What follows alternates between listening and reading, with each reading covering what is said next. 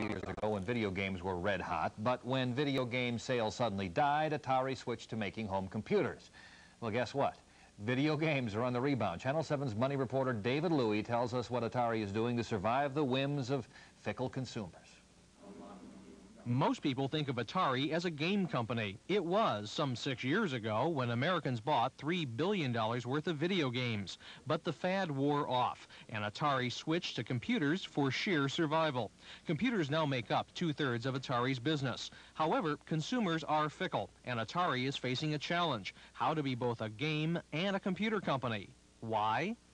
Video games are coming back. Sales were only $300 million last year, but are expected to triple this year. Atari is doing some fancy footwork to keep up with what consumers want.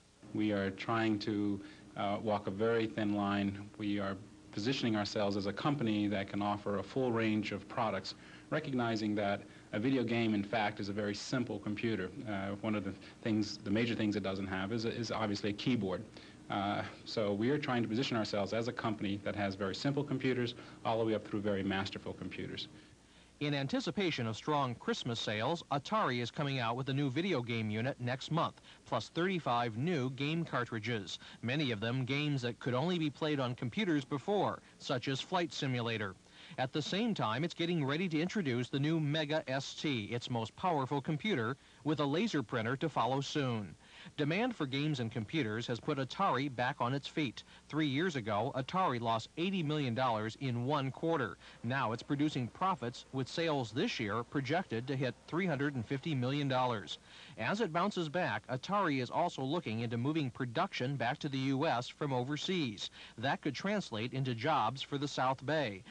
As part of its effort to change its image, Atari is also hoping to jump into the educational market. It figures that if young people are playing its games, eventually they'll graduate to Atari computers. But the educational field already is heavily crowded with Tandy, IBM, and Apple slugging it out. But then again, Atari has nothing to lose. In Sunnyvale, David Louie, Channel 7 News.